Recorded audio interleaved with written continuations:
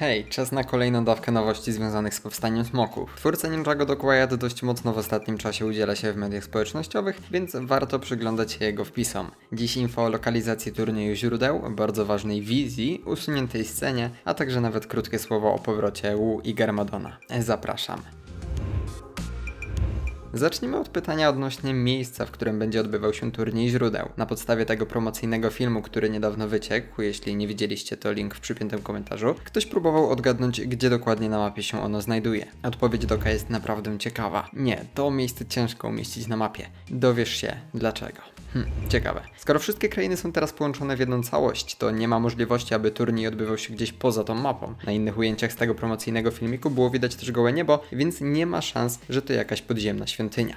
Opcja jest tylko jedna to musi być fragment Królestwa Chmur. Lord teraz przypodobał sobie już jeden fragment latającej wyspy w drugim sezonie, więc nie zdziwiłoby mnie to, gdyby przygarnął nieco większy fragment całej tej krainy. Wtedy logiczne jest to, że nie da się za bardzo umieścić tego na mapie, no bo Królestwo Chmur może po prostu latać w powietrzu i przemieszczać się z miejsca na miejsce. Hej, czy ta wizja będzie miała jeszcze znaczenie w powstaniu smoków, czy może pojawiła się tylko jednorazowo? I odpowiedź twórcy Ninjago nie jest wcale zachwycająca, ale zawiera ukrytą wiadomość. Ta wizja jest jak wszystko inne Nie możemy o niej mówić, ponieważ jest ważna, no to nie chcemy spoilerować. To trudna rzecz, ale w całej tej podróży nie możemy dołączyć do spoilerowej gry. Przyznajcie, że dziwnie to brzmi, ale czy zauważyliście coś jeszcze dziwnego w tej wiadomości? Tak jest, dużo drukowanych liter, tylko w wybranych miejscach. Jeśli przeczytamy tylko to, co zostało napisane z capslockiem, wyjdzie nam tekst, ta wizja jest ważna, to długa gra. Czy może raczej bardziej naturalnie po polsku by to brzmiało, to długa podróż.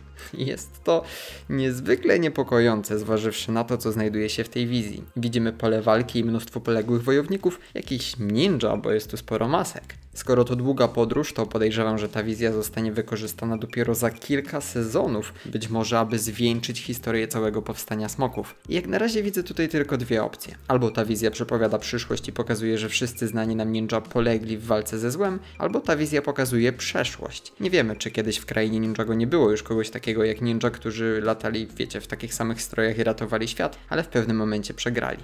No, jest to naprawdę ciekawy temat. Kiedy ostatni raz Wildfire rozmawiała z opiekunem Kunobotem, tym robotem, który właśnie zajmował się nią w dzieciństwie. Dog odpowiedział, napisaliśmy całą scenę, gdzie Wildfire i Kai natknęli się na opiekunobota. Zrobiono całą animację, ale potem tę scenę wycięto. Szkoda w sumie, że wycięli tę scenę, bo to spotkanie mogło być naprawdę ciekawe. Doc przyznał jednocześnie, że opiekunobot ma się dobrze, a tej wyciętej sceny, pomimo tego, że ma do niej dostęp, to nie może nam udostępnić, bo Lego nie pozwala. Masakra, co oni są sztywni. My z chęcią byśmy sobie pooglądali usunięte i odrzucone sceny, jakieś making-offy czy coś, ale nie, nie, bo nie.